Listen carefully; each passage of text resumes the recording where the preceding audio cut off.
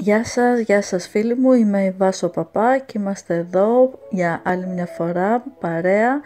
Σήμερα ε, σκέφτηκα να ασχοληθούμε λίγο με το άγχος. Πολύ συχνά ακούω ανθρώπους δίπλα μου να λένε μόλις κάνω το παραμικρό λάθος νιώθω ότι πρέπει να ξαναρχίσω από την αρχή.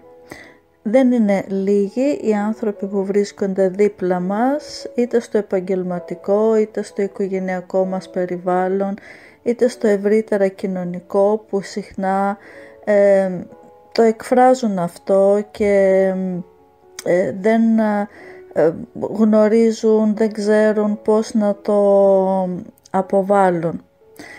Ε, αν γράφετε επί παραδείγματι ένα γράμμα και κάνετε ένα λάθος ε, σε μία λέξη τσαλακώνετε όλο το γράμμα.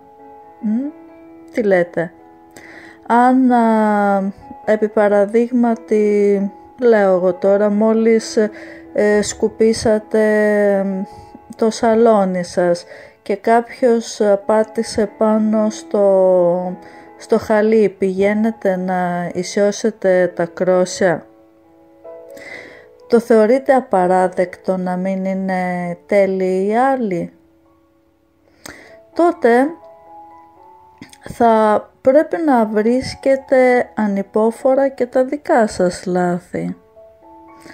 Είτε βρίσκεστε στο σπίτι είτε στο γραφείο σημαίνει ότι καταπιάνεστε τόσο πολύ με τις λεπτομέρειες ώστε ξεχνάτε τι ξεκινήσατε να κάνετε. Ε, φίλοι μου, αν έχετε πολλές δουλειές στο σπίτι, σπαταλάτε πολύτιμη ενέργεια με το να καθαρίζετε το τραπέζι κάθε φορά που το ε, αγγίζει κάποιο μέλος της οικογένειας. Δυστυχώς υπάρχουν πολλοί άνθρωποι ανάμεσά μας που ε, έχουν ε, τέτοιου είδους ψυχαναγκαστικές ε, συμπεριφορές. Αυτό που έχω να πω είναι ταξινομήστε σωστά τις προτεραιότητές σας. Ποτέ δεν θα αποκτήσετε τον έλεγχο στους πάντες και στα πάντα γύρω σας και οι επιδόσεις σας και αυτές υπόκεινται σε ε, διακυμάνσεις.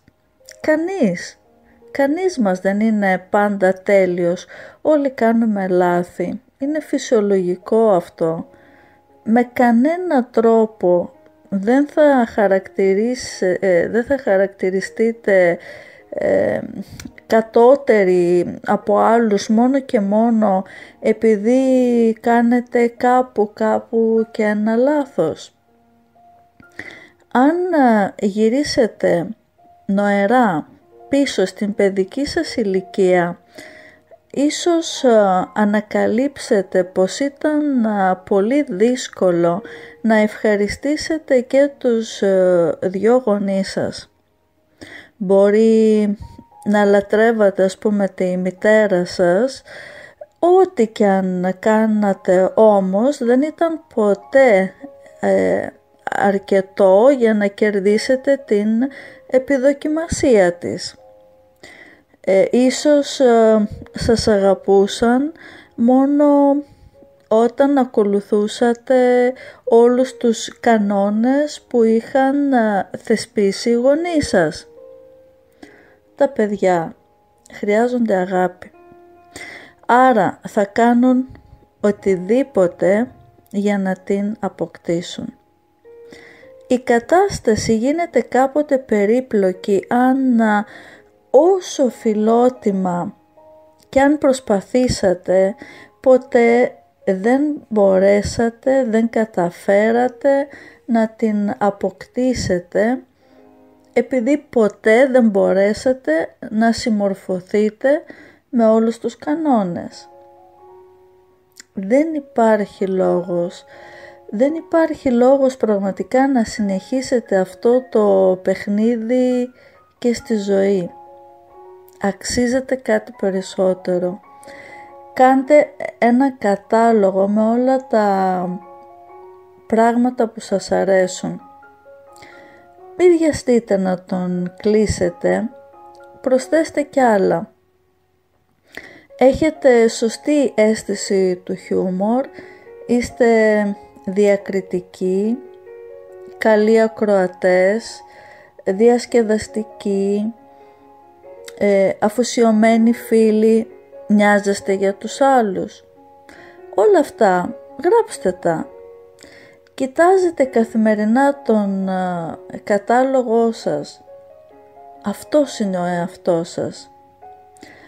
Αρχίστε να φέρεστε στον εαυτό σας σύμφωνα με τα καλά του σημεία. Μην του ζητάτε παράλογα πράγματα. Δώστε του δυνατότητες. Χαλαρώστε λιγάκι τους κανόνες που του είχατε βάλει από παιδί. Οι κανόνες έχουν παλιώσει και χρειάζονται αναθεώρηση. Οι συνθήκες έχουν αλλάξει. Δεν ζείτε πια με τους γονείς σας. Καιρός να βάλετε τους δικούς σας κανόνες. Κανόνες που ταιριάζουν σε εσάς. Θα διαπιστώσετε ότι η επίοικια προς τον εαυτό σας σας βοηθά να εργάζεστε καλύτερα και με λιγότερο άγχος, απλά και μόνο επειδή είστε πιο χαλαρωμένοι. Κλείνοντας φίλοι μου θα ήθελα να σας πω ότι εσείς είστε ο καλύτερος φίλος του εαυτού σας. Φανείτε καλή με τον εαυτό σας. Εάν δεν αγαπήσετε εσείς τον εαυτό σας, δεν πρόκειται να σας αγαπήσουν και οι άλλοι. Είμαι η Βάσο Παπά, θα τα πούμε πολύ πολύ σύντομα. Θα χαρώ να εγγραφείς στο κανάλι μας, στο Culture Magazine και να πατήσεις και το καμπανάκι ακριβώς από κάτω για να γνωρίζεις πότε ακριβώς ανεβαίνει ένα καινούριο βίντεο αφού θα σου έρχεται η ειδοποίηση. Να είσαι, να περνάς καλά, και να προσέχεις την υγεία σου.